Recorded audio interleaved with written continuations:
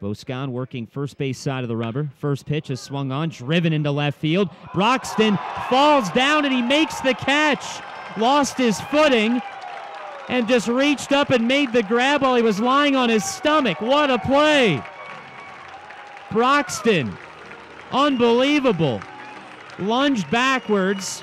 That's caused him to slip, but the ball still in the general vicinity. He just lunged after it while he was laying on his stomach, and he made the catch. What a play. Everything going Indianapolis's way. And at the end of two and a half, it's the Tribe six, the Rail Riders nothing.